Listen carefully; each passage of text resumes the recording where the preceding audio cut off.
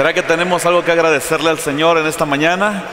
Cierre sus ojitos y agradezcamos este primer domingo del año 2014, año de, lo, de la conquista, año de bendición, año de, luchar, pero también de obtener victorias en Cristo Jesús. Le demos gracias y una vez más eh, le dediquemos a Él eh, este año 2014. Ya vamos cinco días con hoy, estamos estrenando. Padre, te damos gracias, bendecimos tu nombre, Señor. Te glorificamos, gracias por tu fidelidad y por tu misericordia. Dedicamos a ti todo el año, Señor. Dios, no sabemos, Padre, que enfrentaremos, qué retos habrán, Señor, pero sí estamos seguros que estarás con nosotros, Dios mío, todos los días hasta el fin del mundo. Dedicamos a ti, Señor, todo lo que hagamos, todo lo que nos propongamos, porque en ti somos más que vencedores. Permítenos meditar en tu palabra, eh, guiarnos, creerte a ti, Señor, porque escrito está, Señor, que al que cree, todo le es posible. Te agradecemos, Espíritu Santo, por tu favor y tu misericordia. En el nombre de Jesús. Amén. El pueblo del Señor dice, amén. Gloria a Dios. Eh, salude a alguna persona que no haya venido con usted, por favor. Dele la, la bienvenida.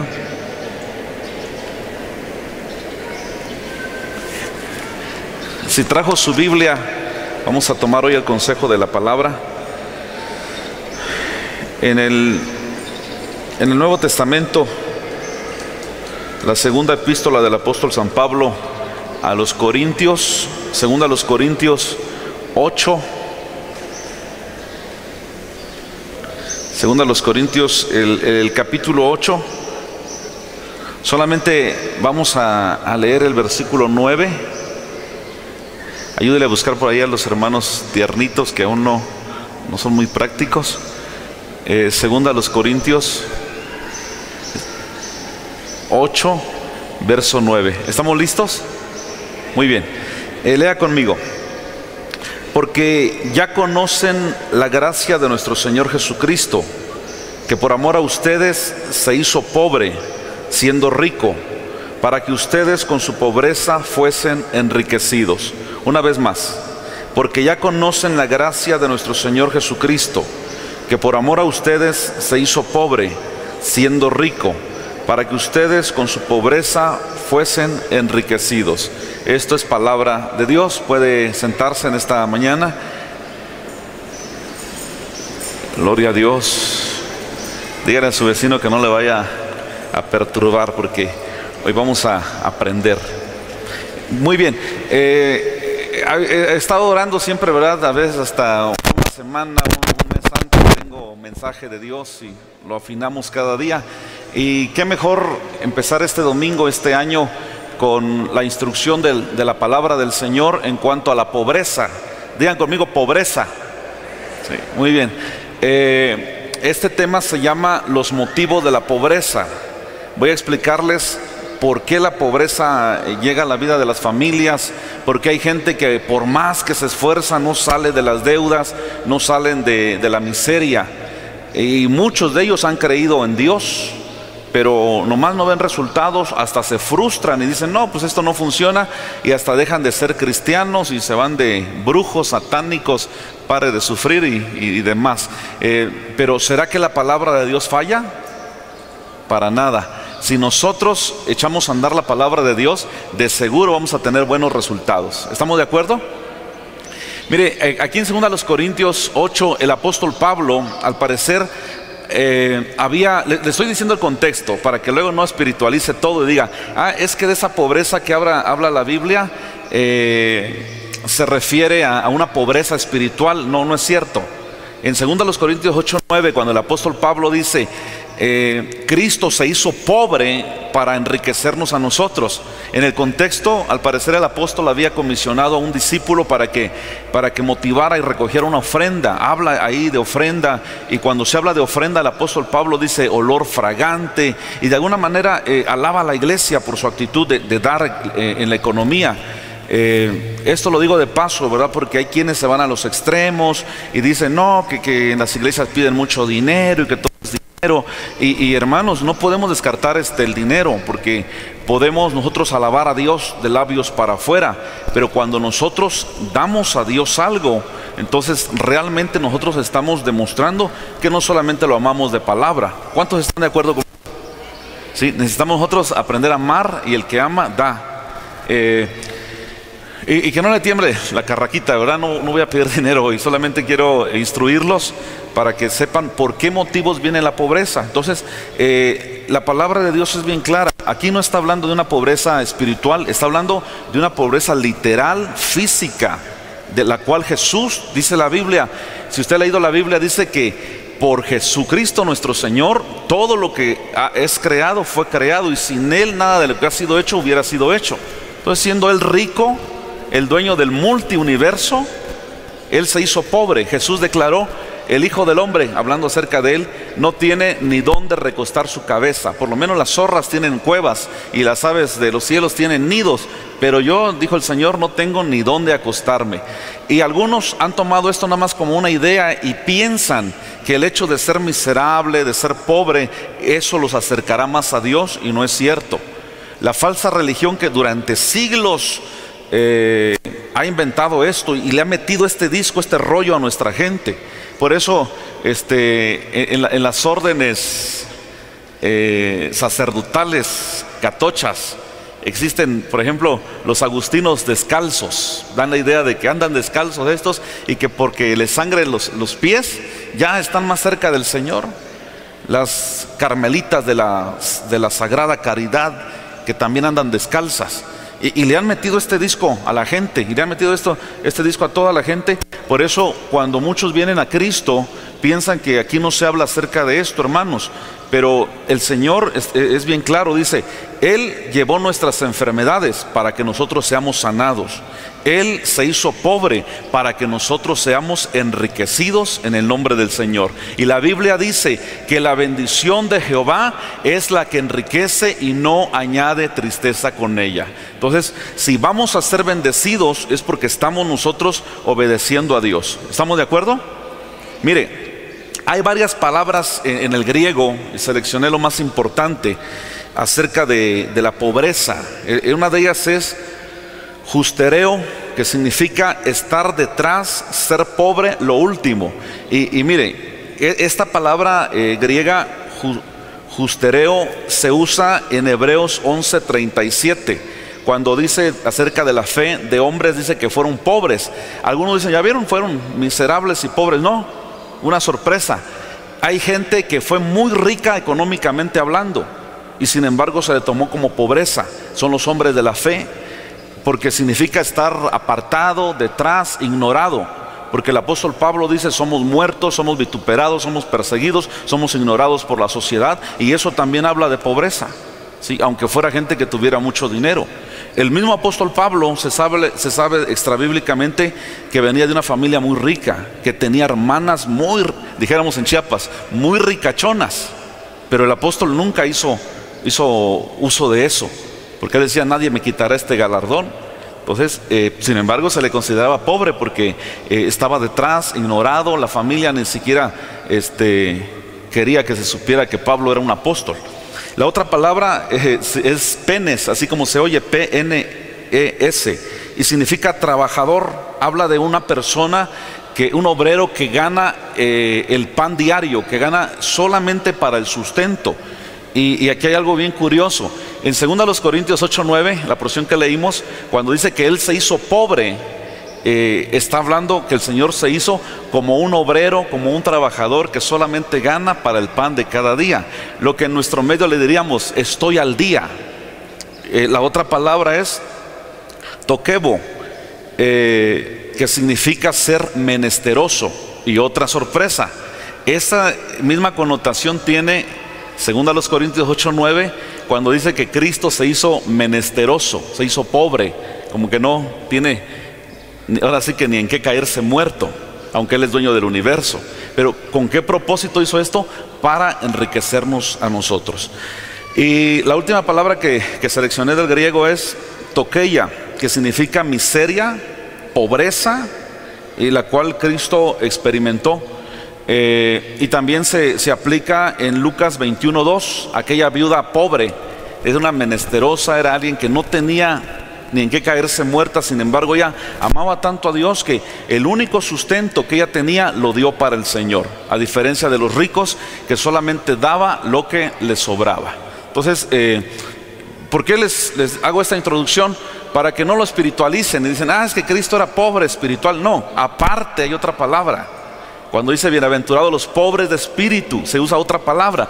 ¿Quiénes son los pobres de espíritu? Pueden tener mucho dinero, pero el pobre de espíritu es alguien que, que, le pide a Dios, alguien que ya tiene de Dios y quiere más. Porque usted no me va a dejar mentir si usted ha buscado a Dios. Mientras usted más busca, usted más quiere del Señor. Y mientras más ora, usted dice, Señor, tengo más necesidad de ti. Y usted está buscando, bueno, a mí sí me pasa eso, un momento, un lugar para estar otra vez en la intimidad y en la presencia del Señor. Por eso dice la Biblia, bienaventurados los pobres de espíritu, porque ellos serán saciados. Y, esa pobreza espiritual eh, no es la misma palabra de la pobreza material. No, no, no confundir, por favor, no es la misma palabra pobreza espiritual que pobreza material. Y aquí eh, lo que dice que Cristo se hizo pobre, está hablando literalmente, está hablando de una manera eh, material. Y por eso le digo que la religión falsa ha inventado un montón de cosas.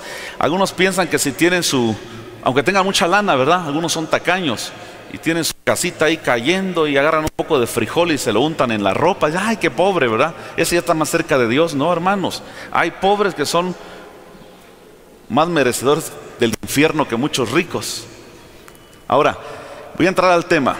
Si está apuntando, ponga mucha atención. Si no, escuchan la radio o ve por el, por el YouTube. Eh, los motivos de la pobreza. Número uno, la desobediencia. Quiero darles esta cita y de hecho también deseo leérselos porque no vayan a pensar que lo sacamos de la manga. Deuteronomio 28, 48. Servirás por tanto a tus enemigos que enviare Jehová contra ti con hambre y con sed y con desnudez y con falta de todas las cosas. Y Él pondrá yugo de hierro sobre tu cuello hasta destruirte. Atención, motivo número uno por el cual viene la pobreza, desobedecer a Dios. Y una de las cosas más eh, abominables ante Dios es adorar a un Dios falso.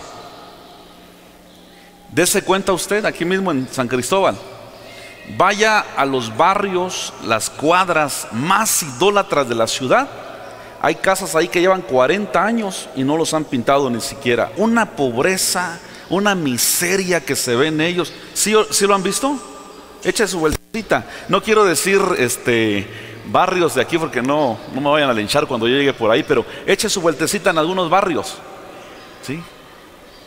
Todo el año que el baile de la no sé quién, que de San Jacinto, que de San Caralampio, que eh, la, Candelaria, y, y dése cuenta, de esas casas están en pobreza, eh, pasaron 20, 30 años, ni, ni para pintar su casa tienen menos que tengan para reconstruirla porque hay una maldición sobre ellos por la desobediencia. La Biblia dice, escucha, oh Israel, escucha, oh iglesia, escucha mundo, Jehová tu Dios, Jehová uno es y amarás solamente a Jehová tu Dios y a Él le honrarás y a Él le servirás con todo tu corazón, tu mente y con todo tu amor y con todas tus fuerzas. Porque Dios es un Dios fuerte, celoso, que si alguien desobedece ese mandamiento, una pobreza terrible. Y, no solamente, hermanos, no solamente aquí en Chiapas, vayan a cualquier ciudad de cualquier parte del mundo. Fíjese que creo que en el 2006 estuve en, la República del Salvador y tenían encendida la tele ahí en la casa donde estuve y ahí había este una procesión de esa que llevan somé, no sé cómo le llaman, y trastes y, frutos para un dios falso. Pero hagan de cuenta que yo estaba viendo eh, escenas de una comunidad de aquí de Chiapas y no porque era una comunidad del Salvador, porque ese es el mismo espíritu. Entonces Dios dice te voy a hacer pobre, te voy a entregar a tus enemigos, vas a ser esclavo. Tal vez alguien diga, pastor, pero ya no hay esclavitud, ¿eso cree usted? El que practica el pecado, esclavo del pecado es. Y el que trabaja y no lo disfruta, es esclavo de eso. Entonces, la primera causa es la desobediencia. Por eso, hermanos, tengamos cuidado de no adorar a ningún otro Dios, entre comillas. Porque el, salmista dice, Jehová, no hay nadie como tú entre los dioses, ni obras que igualen tus obras, ¿verdad? Jehová nuestro Dios es único. Alguien diga amén. Alguien diga conmigo, Jehová es único. Él no tiene comparación. Número dos, otro motivo más de la pobreza. Uy, es la pereza. Díganme algún significado de pereza, no de Teresa, pereza. Flojera, haraganería, ociosidad, ninis. ¿Saben quiénes son los ninis? ni estudian ni trabajan. Descansan en la mañana y no hacen nada en la tarde. Son los que salen a, buscar trabajo a la una de la tarde. Uno salió a la una de la tarde a buscar trabajo y le dijeron, oye, ¿por qué vienes tan tarde a buscar trabajo? Dice, ah, si no es para mí, es para mi hermano que quedó dormido. Otro, mire qué tremendo, otro araganazo estaba ahí abajo de un árbol de, de higos con la bocota abierta. Y alguien le dijo, alguien le dijo, ¿qué haces ahí con la bocota abierta? Estoy esperando que me caiga un higo, es que me da flojera cortarlo. ¿Y qué cree? Que le cayó el higo en la boca y luego no se lo comía. Y le volvieron a preguntar, oye, ¿y por qué no te comes si ya te cayó el higo? Ah, estoy esperando que caiga otro para que lo empuje. ¡Qué bárbaro! Entonces, un motivo de la pobreza, hermanos, usted puede declarar y que declaro esto y refrigerador lleno y todo, pero si usted es perezoso, no va a tener ni para el domingo. Tenemos que ser trabajadores. El que no trabaja, ¿Cómo dice? Tampoco coma. Pero es que mi hijito, chulo, precioso, mi amor, que, que, no, que no haga nada, que tampoco coma, hasta de peso va a bajar. Tiene que aprender a trabajar. Muy bien, le voy a dar algunas citas rápidamente. Proverbios 6, 9 al 11. Perezoso ¿Hasta cuándo has de dormir? ¿Cuándo te levantarás de tu sueño? Un poco de sueño, un poco de dormitar y cruzar por un poco las manos para reposo. El versículo 11. En la nueva versión internacional está más claro la pobreza, pero aquí dice, así vendrá tu necesidad como caminante y tu pobreza como hombre armado. ¿A quién le va a caer la pobreza?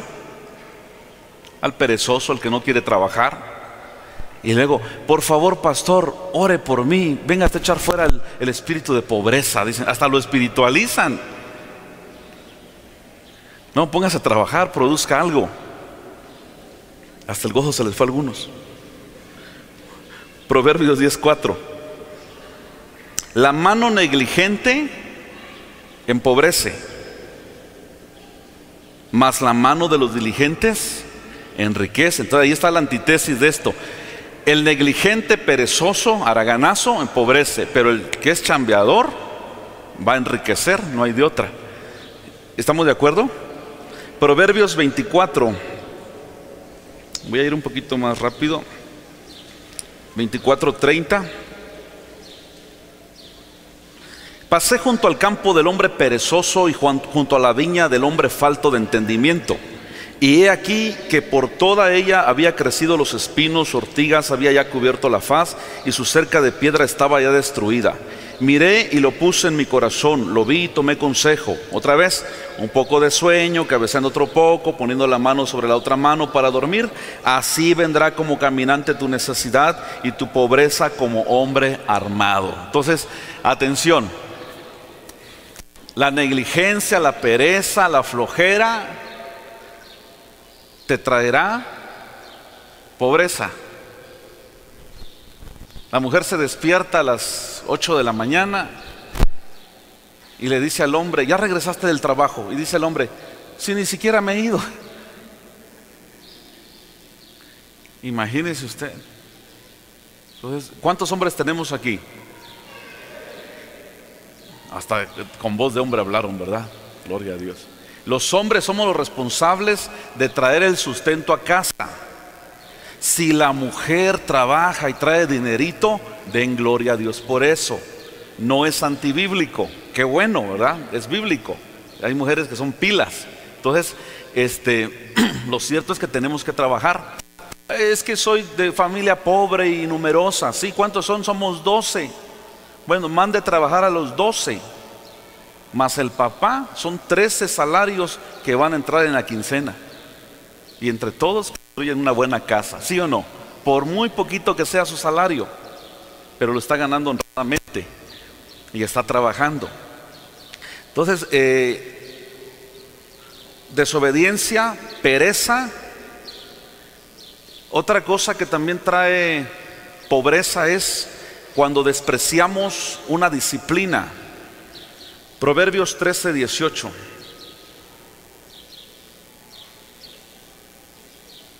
Pobreza y vergüenza tendrá el que menosprecia el consejo, mas el que guarda la corrección recibirá honra. Eh, eh, mire qué tremendo. Ahora escuche acá. La pobreza es el que menosprecia el consejo. En la nueva versión internacional dice también la disciplina. Si alguien no quiere ser disciplinado, va a traer pobreza. ¿Se acuerda que hace unos domingos decíamos de 10 u 11 tips de cómo, cómo eh, criar delincuentes? ¿Cómo están sus hijos? ¿Será que arreglan su cuarto, limpian sus zapatos, se lavan las patas, se cepillan, barren, trapean? ¿Mm? Se portó mal, usted lo castiga, lo disciplina y el hijo se enmienda. Pero el hijo que no se enmienda ya una tras otra, ya le pasaron todas las calamidades que le cayeron a Egipto. Eh, y no se enmienda. De seguro va la pobreza. ¿Cuántas personas han dejado millones de dólares de, de herencia a un hijo? Y dice Eclesiastés que lo usan en malas ocupaciones y al final no aprovechan nada. Hace como tres años escuchaba en las noticias de un hombre muy rico en dólares. Creo que se hablaba de 70 millones de dólares. Su única hija, la heredera, era una vaga, marihuanota, eh, lesbiana, de todo lo que usted le quiera poner. ¿Sabe qué hizo el tipo? Prefirió dejar como heredero a su perro y dejó desheredada a esta, a esta chamaca. ¿Por qué? Porque él le daba tal vez consejos, la reprendía y él nunca entendió. Entonces, tenga cuidado los hijos. Porque si no se ponen las pilas y no obedecen, sus papás, en vez de dejarles a usted la herencia, lo van a sembrar para torre fuerte. Así que ponga mucha atención. ¿Alguien puede decir un amén? Recibimos en el nombre del Señor. Para seguir embelleciendo este tabernáculo. Sí, porque de veras, hermano, si usted sabe que su hijo no es sabio, dice la Biblia, el, hijo necio es vergüenza de su madre, el hijo sabio es alegría de su padre. Entonces, si el hijo no da una, usted en vida se da cuenta que es nini, no trabaja, no estudia, es aragano, no arregla su cuarto, es peleonero, glotón, borracho, marihuano, quién sabe si no hasta gay. Yo un hijo así no le dejaría nada. Y con mucha razón. Y vendría pobreza. Entonces, hermanos, debemos de tener cuidado. También cuando Dios nos discipline, hay que ser humildes. Hay que echar la cabezota y decir, Señor, sí, Señor. ¿Cómo dice el ejército de Dios? Amén. Dice, Señor, yo acepto. Aquí estoy. Voy a pelear la buena batalla. ¿De acuerdo? Y Dios le va a bendecir. Y la prosperidad postrera será mayor aún que la primera. ¿De acuerdo? Porque usted dirá, Señor, acepto. Si me regañas, amén. La gente que no acepta consejo, mire, ¿quiere usted conocer a alguien que no acepta consejo? Que usted apenas le está hablando y ya le interrumpió su conversación. Ese es soberbio. No aceptan consejos. Usted lo regaña. Yo no a cualquiera regaño, sé a quiénes regaño. Es más, es un privilegio que yo me tome la molestia de regañarlos. Porque hay algunos que apenas los regaña uno y su trompota de aquí a Chedraui. No acepta la corrección, no acepta la disciplina. Soberbio, vendrá pobreza. Aunque usted no lo crea. Por eso hay que, hay que ser humildones, hermanos. te calibraron, te dieron una buena regañada. Señor, sí, Señor. ¿De acuerdo? Nada de que, pero es que, no, usted diga amén punto. El que acepta el consejo y acepta la disciplina, de cierto recibirá honra, recibirá riquezas, bendición de parte del Señor. Acuérdese porque en el año de la conquista necesitamos nosotros tener buenos resultados. Número cuatro. Otra cosa que trae pobreza es las cosas vanas. Eh, puse ahí entre, entre, paréntesis las cosas superfluas. Ahorita voy a explicar. Eh, Proverbios 21, 17. Hombre, y ahí póngale también si es mujer. Hombre, mujer necesitado o necesitada será el que ama el deleite y que el que ama el vino y los ungüentos no se enriquecerá. Atención acá, ¿de qué habla esto? De las cosas superfluas, de las cosas vanas. Mire, ¿qué es lo necesario o, de primera necesidad de nuestra vida? Comida, vestuario y techo. Lo demás es lo de menos. ¿Sí o no? Aclaro, si usted puede comprar un buen vehículo, un buen perfume porque tiene la solvencia, adelante. ¿Sabe cuál es el problema? Que muchas veces en vez de atender lo más necesario, si su economía es limitada, usted piensa mejor en otras cosas. Ah, llega cargando una mesota y un tapasol. Vieja, mira lo que compré para el jardín. Dice la mujer, pero si no tenemos jardín.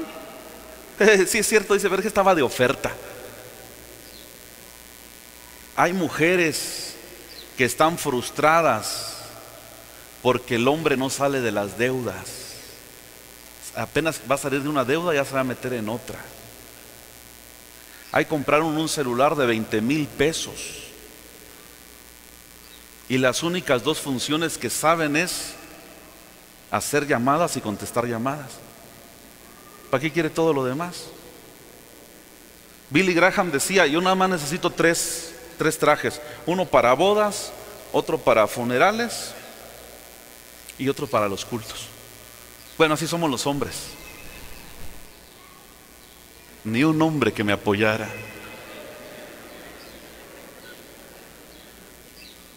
¿Verdad que somos más? La mujer obviamente le gusta comprar sus cositas, pero también no sea superflua. Viejo, ahí me agarré un abrigo de piel de serpiente antigua. ¿Y cuánto te costó? 18 mil. ¿Y cómo lo voy a pagar? Es tu problema. Eh, escuchaba a alguien que decía que su esposa se compró un coche Mercedes, el mejor, pero lo compró por cinco años de ahorro y el producto de sus ganancias de su empresa de cinco años fue y lo compró de cash. No hay ningún problema, porque no me voy a entender. ¿Y entonces por qué usan esto? Y entonces, no, no, no me malentienda. El problema es cuando compramos cosas que no son necesarias. ¿Para qué quiero un celular que tenga un montón de cosas y con trabajo sé mandar guaposapo y recibir y llamadas? ¿Para qué quiero tanto? Un celular chafita, ¿verdad? Con eso lo hacemos. No hay problema. O sea, cuando usted compra algo, que ni sabe usar ni nada. Y endeuda a su familia y no ha salido de una deuda, ya se va con otro. Mira vieja, compré, compré estos binoculares que usa el ejército de los Estados Unidos. ¿Y para qué? Pues no sé, pero lo compré. ¿Para qué, hermanos? Hay cosas que ni sabemos para qué se usan. Entonces, dice la Biblia, el que, el que le gusta comprar vino, el chupador, viene a pobreza. El que ama los ungüentos, el perfume.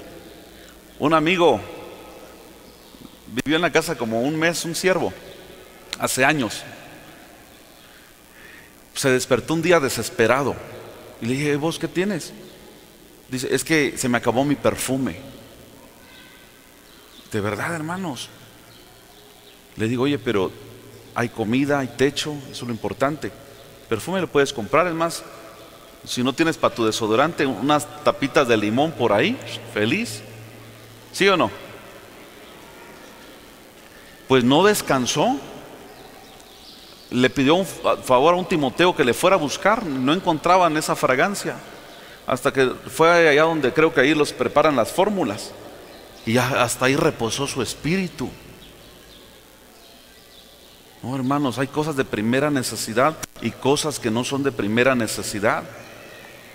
Si tiene buena solvencia, repito, adelante es producto de su trabajo, de su ahorro, qué sé yo. Pero si usted está ganando al día y, va a pedir fiado esas cosas, de seguro va a pasar año tras año tras año y no va a prosperar. Conozco personas que durante décadas han estado endeudados, salen de una deuda y ya se metieron en otra por pensar en las cosas este, vanas, en las cosas superfluas. El que ama los perfumes está hablando, ¿verdad?, de las cosas que tal vez nos, nos vayan a dar fama. Ay, es que mire, muchachón, ahora anda con una moto BMW y ahí va aquel, ¿verdad?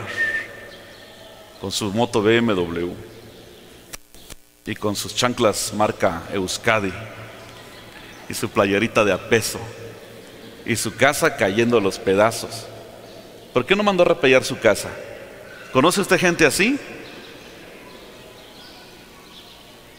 En un cuartito de tres por tres duerme él, la esposa, hasta el yerno. El hijo se robó una mujer. Como 20 duermen ahí. Ah, pero sí tiene su pantalla de 100 pulgadas. ¿Y dónde lo meterá? En el patio. Sí, me explico. Son las cosas superfluas. ¿Qué debemos de hacer? Primero, la casa, un cuartito más. Por lo menos que no se escuchen los ronquidos de, la nuera o el yerno, que roncan como olla de nixtamal. Ah, no, tienen cosas vanas, pero la casa cayendo los pedazos. Van en la BMW y su playerita de a peso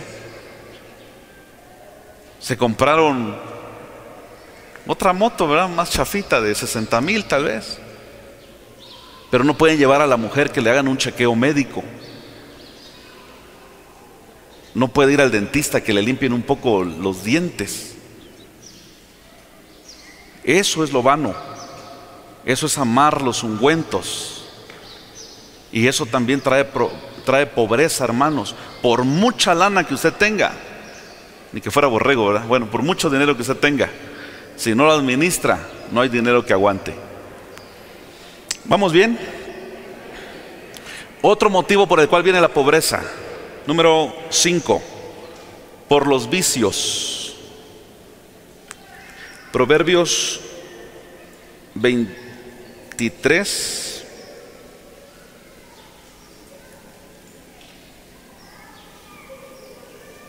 19. Oye, hijo mío, y sé sabio y endereza tu corazón al camino. No estés con los bebedores de vino, ni con los comedores de carne, porque el bebedor y el comilón empobrecerán, y el sueño hará vestir, ¿cómo dice? Vestidos rotos. Ah, entonces los vicios. A ver, díganme ustedes, ¿qué vicio es barato? Yo jamás consumí cocaína, pero dicen que es cara la grapa de cocaína, la marihuana, el licor. El mismo posh que hacen aquí los, de nuestra tierra, nada más le ponen un poquito de sabor y un poquito de, de color, lo agitan y ya se lo venden con una etiqueta, ¿verdad? Feliz el indio ahí echándose puro bucanas, dice, ¿qué es el adulterado que venden en Tepito? Y se lo están metiendo a precio original. Y usted sabe que cuando anuncian el cigarro, bueno, ahorita gracias a Dios ya no salen anuncios de cigarro, pero cuando anunciaban el cigarro, sacaban un tipo, bien tipo. ¿Sí se acuerdan de eso? Fuma, ¿cómo? Malburro, Malboro, no sé cómo se llamaba. No ponen ahí un verdoso tuberculoso con enfisema pulmonar. Eso no lo ponen. Ponen a un guapote ahí enterote. Y si van a anunciar licor, lo mismo. no ponen un teporochito tirado en la calle, ponen igual un, un galán de televisión, ¿verdad? Para inducir. Y a algunos ni saben qué bebida adulterada les están dando. Y están tomando el pipí del diablo, porque luego están bien, bien jarras. Ahora, dice de la carne, ¿es, es, es malo la carne, es malo el vino? Hay vinos de mesa, hay vinos que son condimentos, ¿sí? Igual la carne tampoco es mala, pero está hablando de los excesos, de la glotonería.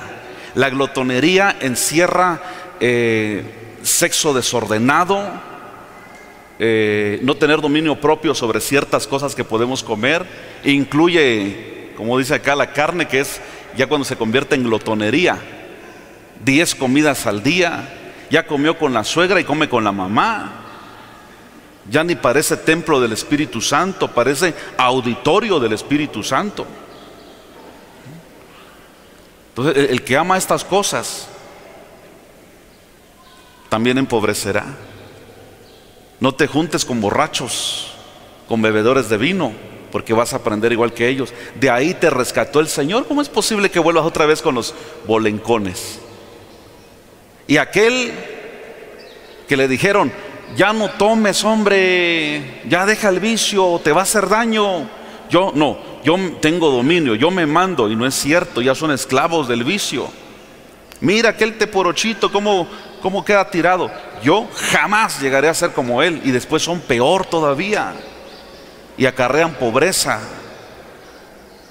Estaban en la mesa el papá, la mamá y un niñito así como de ocho años sin zapatitos, carita así hambrienta, pelo quebradizo, síntoma de desnutrición. El papá un borracho de marca, todo crudo, iban a comer unos frijoles de la olla sin sal y sin tortillas. Y dice este hombre bolencón, oye, le dice a la esposa, no sé por qué anoche soñé una rata bien gorda y dos ratas bien flaquitas, no sé qué será. Y el niño le dio la interpretación. Dice, papá, pues ¿qué va a hacer? La rata gorda es el cantinero que todo el dinero llevas para allá. Y las dos ratas flacas somos mi mamá y yo que nos tenés sin comer, le dijo todavía. Que José el soñador ni qué nada, ¿verdad? Entonces el borracho viene a pobreza. Mire, hemos escuchado infinidad de historias, también usted les ha escuchado. Fui muy rico, heredé algo, tenía empresa, sí, pero ¿dónde está ahora? No sé al cantante José José, que dicen que ahora es cristiano, no, me consta, este, usted sabe que se le perjudicó la voz, el llamado el príncipe de la canción.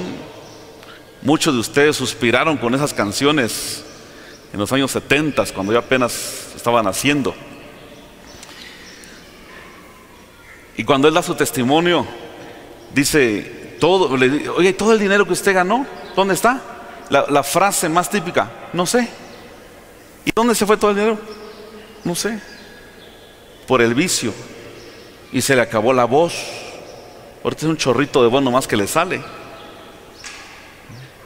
Hombres que fueron millonarios terminaron en la pobreza. No se confíe. Si usted fue bolencón en el mundo, no ande tomando ahora. Si es su punto débil, el chupe, ni, ni siquiera lo olfatee, mientras, por lo menos mientras usted, usted madura. Porque si no, vuelve a caer en esas garras y el estado postrero va a ser peor que el primero. Muy bien, entonces cuidado con los vicios y, cualquier vicio eh, es caro. El que usted practique, si es gay, tiene ese vicio, va a pagarle a hombres. Si es mujeriego, no por su linda cara lo van a besar las muchachas del antro. Si es cocainómano, no le van a regalar la coca. Si es bolencón, ni el alcohol de la farmacia que ya toma no se lo van a regalar. Entonces todo vicio es caro y se paga caro. Vicio de la televisión, vicio del face, cualquier vicio te acarrea pobreza. Número 6. Otro motivo de la pobreza es hablar vanamente. Por favor, Proverbios 28, 19.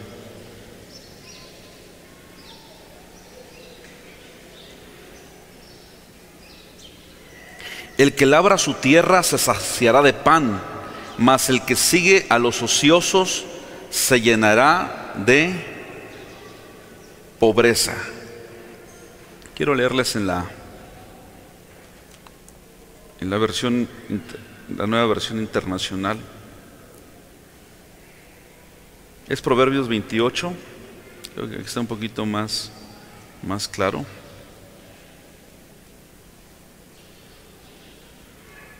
El que trabaja la tierra tendrá abundante comida, y el que sueña despierto solo abundará en pobreza. Escuche acá, por favor. El que trabaja la tierra tendrá, pan, y el que sueña despierto solo abundará en pobreza. ¿Qué significa esto? Dice la Biblia que aún el joven es conocido por sus hechos. Alguien te dice, Oye, lávame mi carro. Ah, para que me dé 20 pesos, prefiero estar así. Orgullo, soberbia. ¿Mm?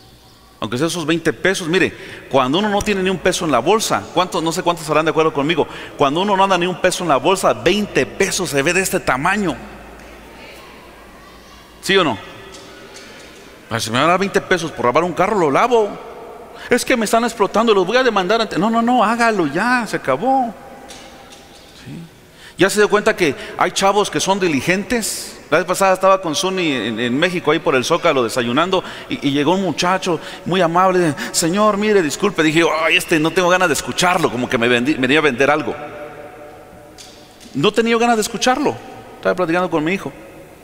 Mire, lo que pasa que soy estudiante de, la, de, la, UNAM en una carrera y la verdad estamos juntando recursos para nuestros estudios y le traigo este plumón y, la sonrisa, por supuesto, y la sonrisa. Mire, y, agarra un libro y, raya de anaranjado. Dije, oh, no tiene nada de extraordinario, pero mire del otro lado y agarra y borra lo anaranjado. Dije, ah, a ver, está bueno esto. Y terminé comprándole al muchacho los plumones. Diligente ¿Sí me explico? Está haciendo algo.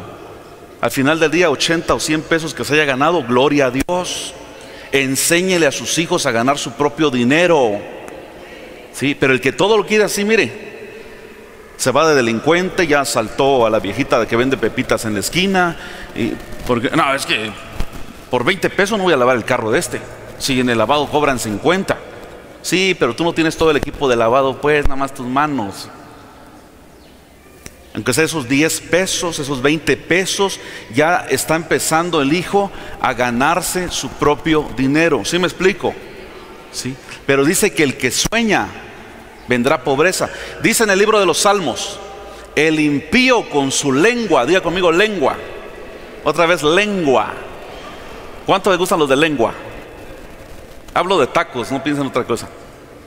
Mire, le dice la Biblia, el impío con su lengua recorre toda la tierra.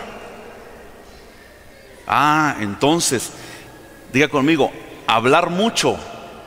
Otra vez, hablar mucho acarrea pobreza. El que habla, mire, ya veo que hay gente que cómo habla. Cuatro horas y no se aburren de estar hablando. Y puras cosas vanas, nada que ver ese viene a pobreza o todo el tiempo está pobre. Y el que lo escucha está igual porque perdió cuatro horas escuchando chismes, bola de mitoteros. El que escucha chismes viene a pobreza y el chismoso también viene a pobreza. Y el que habla mucho, ya su lengota recorrió toda la tierra. Sí, me voy a Estados Unidos y gano dinero y te mando esto y hacemos un edificio y luego esto. Ya está soñando despierto, pero no hace nada. Hay quienes dicen, sí, este año pongo tres negocios y que esto y que lo otro, pero puro bla, bla, bla y nada de acción. Uno hasta se la cree, dice uno, ah, qué, qué, bonito, ¿no? Va a poner un negocio, va a producir esto y va a hacer aquello. Lo malo que no vemos el dinero, no vemos la acción. Entonces procure no hablar mucho. Le voy a dar permiso de algo. Dígale a su vecino, no seas bocón. Mire, cuando don Vicente Fox era, era candidato a la presidencia de la República, ¿cuántos se acuerdan de eso? Ah, las promesas de campaña. Ciertamente, si quedo como presidente de la nación, ah, bien que me sale la voz, ¿verdad? La manota. En 15 minutos resuelvo el problema de Chiapas. Que en 15 minutos resolvía el problema con el subcomandante Marcos. ¿Será cierto? Cuando ya fue presidente, le dijeron, oiga, este, señor presidente, ¿qué ha aprendido de cuando era candidato ahora? Eh, he aprendido a no ser bocón. Dijo, amén. Por eso dígale a su vecino, no seas bocón. Deja de hablar mucho. Más trabajo y menos plática. En la mucha palabrería no falta pecado. Si hay alguno que ya está tronado y se quiere ir de la iglesia, atención, que se vaya solo. Deje de andar desgraciando a otros. Y usted no se deje andar desgraciando. Y que se va a ir, que Dios lo bendiga. Pero deje de andar leudando porque más pobreza acarrea. Ya los encuentra uno en la calle, su fachota de clavillazo. ¿Cuántos se acuerdan de clavillazo? Así se ven, se refleja su pobreza. Tranquilos, no hable demasiado. El que quiera ver buenos días, refrene su lengua de hablar maldad, dice la Biblia. Hable palabra de bendición. Suelte una palabra de la Biblia. Deje estar de, ahí de leudando gente, bola de corruptos. Y luego que porque andan bien pobres, por lo mismo, aprenda a no ser bocón. Eso le va a cargar pobreza. Y siempre lo mismo. Es que hace 20 años esto, y hace 15 años lo otro, y hay recordando cosas que ya nada que ver. Hablar cosas vanas es pecado. Dice la Biblia que en la mucha palabrería no falta pecado. Dice nuestro Señor Jesucristo que de toda palabra ociosa que digamos daremos cuenta en el día del juicio. Usted puede platicar bien con una persona 40 o 50 minutos. Después de eso ya es chisme. Los que vienen a audiencia conmigo, eh, esto no se los había dicho, ¿verdad? Pero al grano, 50, 60 minutos, listos se quedan cinco horas conmigo, tengo mucho que hacer y, y ya es dar de vuelta lo mismo, no tiene caso.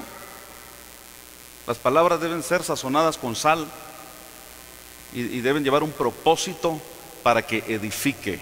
Y el pueblo del Señor dice, amén. Entonces, si se pregunta, es que yo ya cumplí con todo esto, chequese si no es usted muy bocón,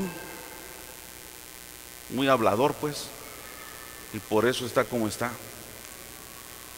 Ya me ganó el tiempo, pero vamos rápido. Número 7.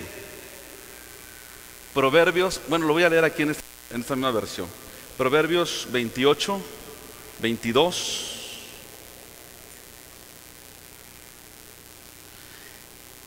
El ser, escuche esto, el ser tacaño, la tacañería. Dígame un sinónimo de tacaño regiomontano, dicen luego. No, no hay, hermanos de Monterrey que son muy espléndidos. Vamos que ya los estereotiparon así. Mire, a ver, sinónimo de tacaño. Codo, ¿qué más? ¿Qué otra cosa? Los que no dieron su diezmo en diciembre, esos son tacaños. Y mire lo que les espera. Reprendo y cancelo. No, no, no, que reprenda y haga lo que quiera y me traiga aquí a su abuelita. La palabra, la palabra. Dos aménes, gloria a Dios. 28, 22. El tacaño ansía enriquecerse sin saber que la pobreza lo aguarda. El tacaño, el codo, el agarrado, no sé cómo usted le llame. ¿Por qué es tacaño, codo, agarrado? Porque piensa que al retener se va a enriquecer. ¿Y sabe qué dice la Biblia? Hay quienes retienen más de lo que es justo. O sea, lo que era justo dar no lo dieron vienen a pobreza.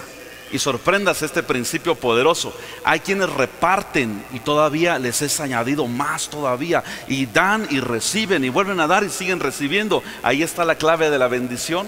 Pero el tacaño dice, no, es que si ahorramos esto, hijitos míos, a partir de hoy vamos a comer tres huevitos en torta para los ocho nosotros. Ya llegaron un pedacito cada hijito, todos pálidos, desnutridos, tienen 15 años y parece que tuvieran ocho, tienen 15 y están del tamaño de Nino. Ay, es que somos chaparritos. Ah, bueno, eso no hay problema, ¿verdad? Pero si está así por desnutrición, no es bendición. El tacaño no come guineo para no tirar la cáscara. No come dona por no tirar el agujero. Ya ven que los de Dios bendiga a los de Monterrey que también nos ven allá por el YouTube, que Dios les bendiga abundantemente. Este, voy a decir un chiste de ellos con todo respeto, porque luego si no me van a reclamar. Y gracias a Dios, eh, ¿cuántos mandan un saludo a Monterrey? Y a los Estados Unidos. Y a Cancún, de, ahí son personas que nos están siguiendo continuamente, que Dios les bendiga. Y ya ve que, por le decía, en Monterrey, aunque hay un estereotipo de que son codos o tacaños, hay hermanos muy espléndidos. Y, pero este es un chiste tremendo, que viene un chavo regiomontano y le dice a su papá, eh, oye papá, fíjate que me ahorré lo de la combi. ¿Y por qué? Es que me viene corriendo atrás de la combi, pues me ahorré lo de la combi. Oye, mi hijo, palotra, te vienes corriendo atrás de un taxi y te ahorras lo del taxi, le dijo. Hermanos, no seamos tacaños. Había un señor, esto ya por la frailesca, un rancho, bonito rancho. Ya estaba enfermo. Cada rato le daba así como que le iba a dar el, infarto. Ya tenían que llamar, prestar una camioneta, llamar la ambulancia, y en una de esas murió. Pero antes de eso le decían, eh, oiga, don Fitecantropus erectus, ¿por qué tiene usted dinero? ¿Por qué tenía dinero? ¿Por qué no se compra una camioneta? Y así usted no se arriesga. En cuanto empiece a sentir los primeros síntomas, que lo lleven. No, no, no, no es que mi dinero, en cuanto murió, al otro día una camioneta del año. Los hijos compraron la camioneta. Pero el tacaño se murió sin disfrutarlo. Dice la Biblia que comer también es una bendición. Por si usted no lo sabía. ¿De acuerdo? Entonces, hermanos, no seamos tacaños. Si tiene para zapatos, cómprese zapatos, cómprese su ropita. Cuando pueda comer bien, pues coma bien, porque habrán días que no va a poder comer muy bien. ¿De acuerdo? La tacañería. Si ni usted mismo se ama, menos que le dé a otros. Quiere ver guapa a su esposa, cómprele su ropita, que se vea bonita la mujer. ¿Hay hombres aquí todavía? ¿Hay hombres aquí? No que la pobre mujer, la misma ropa que se compró cuando se casaron. Y luego dice, mi amor, pero es que no me estás cumpliendo, dijiste que me ibas a dar vida de ángel. Sí, mi amor, vida de ángel, desnudita, descalza y sin comer, dice todavía. Mire, ya desde hace dos años la iglesia Torre Fuerte está haciendo fiestas de misericordia. ¿Cuántos se acuerdan de eso? Y me sorprende mucho, de verdad me han sorprendido en todas las fiestas de misericordia. Ha abundado lo que ustedes dan la comida, la ropita. Por favor, los pastores que han hecho fiesta de misericordia, confirmen esto. ¿Verdad que sí? Eh, lo último fue en Chenaló con el pastor Néstor. Abundó ahí hasta, hubo un presupuesto que ellos dieron, los siervos de allá, para mochilas. ¿Cuántos vinieron al aniversario? ¿Sí recibieron una mochila a sus niños? Es una cortesía de diáconos, pastores de zona y un servidor.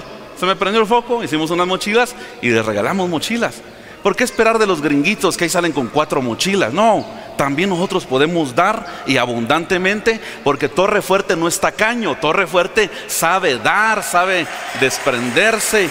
Y esto, hermanos, nos ha maravillado, porque por causa de hacer misericordia, por causa de hacer misericordia, repartiendo, por eso dice la Biblia, repartió, dio a los pobres, su justicia permanece para siempre.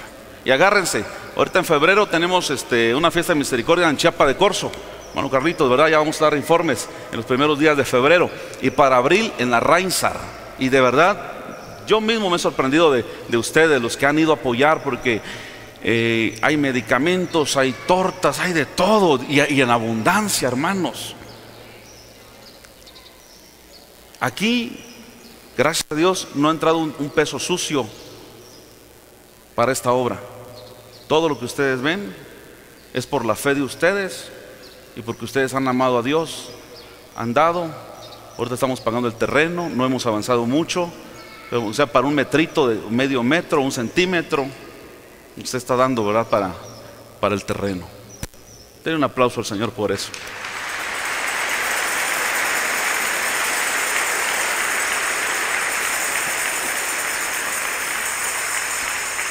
Y por último,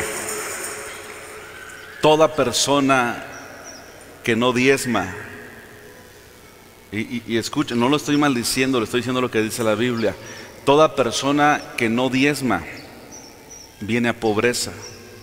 Si uno diezma, Dios prende la enfermedad, la pobreza, al devorador, todo lo malo. Si uno no diezma, es al revés. Entonces, aprendamos a ser fieles con el Señor. Cuando usted diezma, no da nada, eso de por sí es del Señor. Cuando usted da, cuando usted ofrenda. Eh, muchas veces sucede que los que tienen negocio ponen algo simbólico, no es el diezmo. Ay, ay ponle tanto, ya ni sabe, ¿para qué quieren tanto? 10 pesos. Todavía dicen, ¿tiene relación 10 pesos diezmo? 10 pesos diezmo. O ponen ahí algo que nada que ver. Dice la Biblia, no se engañen, Dios no puede ser burlado todo lo que el hombre siembre, eso también va a cosechar. Pero es que más o menos no sé cuánto gano. Bueno, haz un cálculo que, que tú puedas dar, incluso si es posible, más que eso, para que Dios te bendiga y Dios te libre de la, de la avaricia y de la idolatría. Y termino con lo que empecé, la desobediencia de Deuteronomio. Serás entregado a tus enemigos, un montón de calamidades. Y, sabe qué dice en el contexto. Escuche, atención, ¿Cuántos saben que viene la bendición grande? Ok. Hubo gente que fue bendecida. Dice, y en su prosperidad no me honraron. En su prosperidad no me sirvieron. En su prosperidad se desviaron. Hay quienes dicen, es que el dinero lo echó a perder. No, el dinero evidenció lo que ya era. Dios tuvo siervos riquísimos. Un ejemplo que siempre he dado, Abraham, Isaac y Jacob, hombres multimillonarios. Si fuera ahorita en, euros, serían multimillonarios, pero siempre honraron a Dios. La prosperidad no tiene por qué cambiarnos, pero estos, en su prosperidad, fueron desleales al Señor. En su prosperidad y la comodidad, la comodidad los echó a perder. La prosperidad reflejó lo que ya había en su corazón. Ya no vieron malo empezar a adulterar o a drogarse, a robar. Como ya hay mucha prosperidad, y a veces ni es mucha, pero para ellos es mucho. Ya empezaron a ver a todos por debajo del hombre, aún al pastor. Y eso les trajo pobreza. No terminaría de dar la lista de, de los hombres que han venido a pobreza. Obviamente, el Señor nos enseña y Él tiene un cuidado con los pobres. El pobre venía y recogía las espigas. Cuando se levantaba la cosecha, caían espigas, era para los pobres, para ayudarlos a ellos. Tenemos que tener cuidado de los pobres, yo no estoy diciendo que no. Pero la bendición de Jehová es la que enriquece y no añade aflicción. Entonces les mencioné ocho motivos por los cuales viene la pobreza, y no espiritual, económica. La gente que ofrenda, que diezma, que da, la Biblia dice que tiene alegría. Son gente llenas de amor y gente llenas del Espíritu Santo. Porque el Dios griego llamado Mamón, que es el Dios de las riquezas, ya no está ahí. En su corazón solamente hay un altar dedicado al Dios vivo. Amén. Todo nuestro amor y todo nuestro corazón para Él. Les invito que, que estemos de pie, mis amados. Fíjese que quiero hacer un llamado, no, no a que pasen enfrente, sino un llamado a su conciencia, a su intelecto, a su voluntad. Que hagamos compromisos con Dios. Gana mucho dinero y no lo disfruta. Eso también es fracaso, es pobreza. No ven que se va el dinero. Trabajan de sol a sol y mayuk taquín. Dice la Biblia, aunque te levantes de madrugada y vayas tarde a reposar, eso no te garantiza nada. De ahí con ese dicho, no por mucho madrugar, amanece más temprano. En el nombre de Jesús, deseo ser pastor de una iglesia muy prosperada. Los altos de Chiapas han tenido fama de mucha pobreza, marginación y muchas cosas más. Y es fácil echarle la culpa al, gobierno o a quien sea, pero realmente eso no es. El problema es que no le creemos a Dios y no, no ponemos a andar los principios de la palabra. Hoy les llamo hermanos a, hacer un, un compromiso. Y para esto quiero leerles el Salmo 113. Alaben siervos de Jehová, alaben el nombre de Jehová. Sea el nombre de Jehová bendito desde ahora y para siempre. ¿Alguien puede confirmar esto? Desde el nacimiento del sol hasta donde se pone, sea alabado el nombre de Jehová. Excelso sobre todas las naciones es Jehová, sobre los cielos su gloria. Este, este versículo, estos versículos que vienen están preciosos. Dice, ¿Quién como Jehová nuestro Dios? Cuando diga quién como Jehová nuestro Dios, usted diga nadie, ¿de acuerdo? ¿Quién como Jehová nuestro Dios? Que se sienta en las alturas, que se humilla a mirar en el cielo y en la tierra. Verso 7. Si hay alguien que esté en esa situación, hoy haga un compromiso con Dios. Él levanta del polvo al pobre y al menesteroso alza del muladar para hacerle sentar con los príncipes, con los príncipes de su pueblo. Él hace habitar en familia a la estéril, es decir, le da hijos a la que era estéril, que se goza en ser madre de hijos. Aleluya. Bendito sea Jehová nuestro Dios. Mira hacia abajo, al pobre lo levanta del muladar el muladar es lugar de bestias, de caballos, de borregos, de burros. El menesteroso es levantado y luego lo, sienta con los príncipes de su pueblo. Cierre un momento sus ojitos.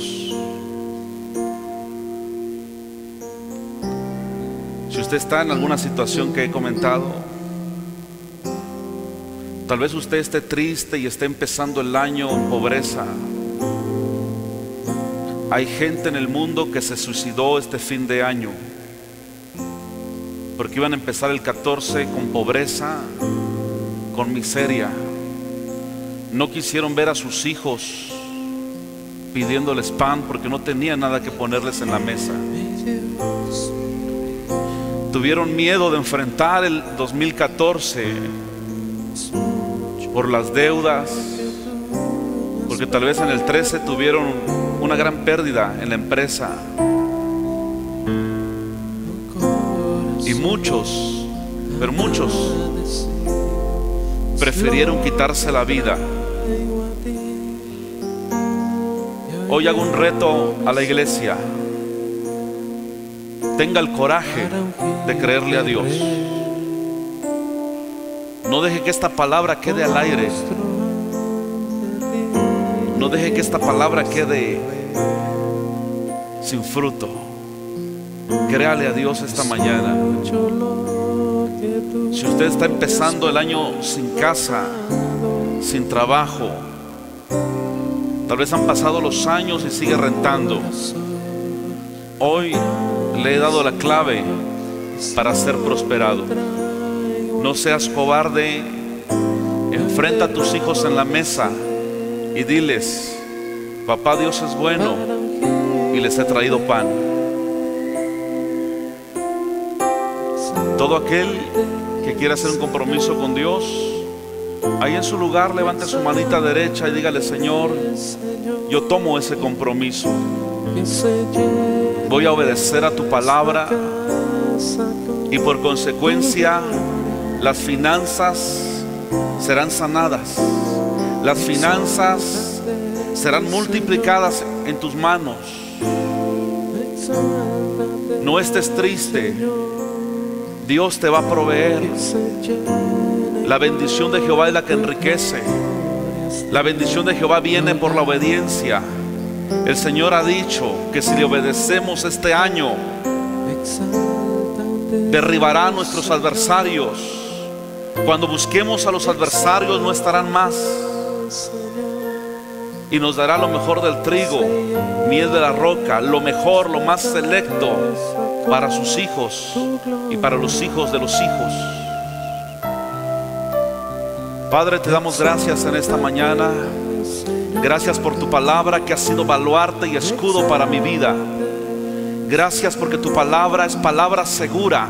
Hoy que el mundo está temblando por la economía y que ha pasado crisis y que ha pasado escasez en los últimos meses del año pasado, Señor. Hoy te creemos a ti, pues tu palabra dice que a los que te buscan no les hará falta absolutamente nada. Tu palabra dice, Dios mío, que las aguas y el pan estarán seguros.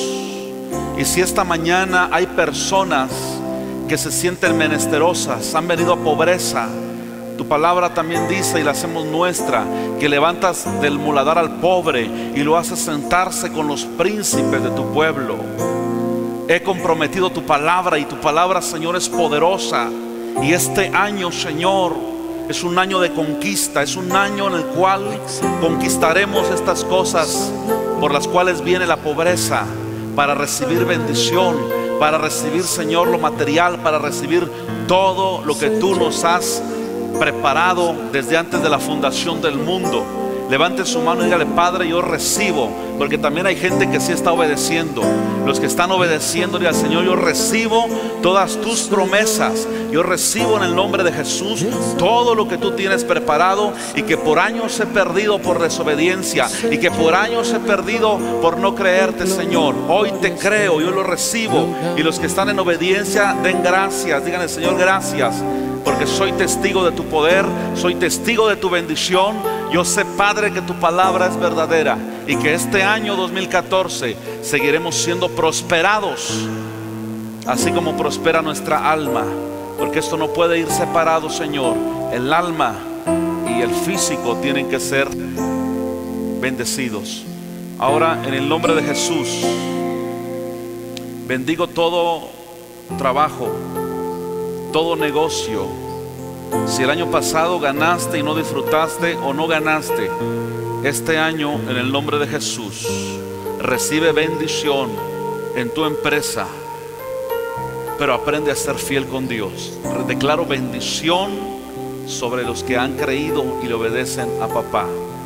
Tienes que ser el hombre más prosperado de tu zona, el hombre más prosperado del ramo empresarial donde estás. El mejor obrero, el mejor empleado. Porque lo postrero siempre es mayor que lo primero. Gracias Dios. En el nombre de Jesús. Amén y amén Señor. Dale un fuerte aplauso al Señor porque Él es bueno y para siempre es su misericordia. Gloria a Dios. Puede sentarse.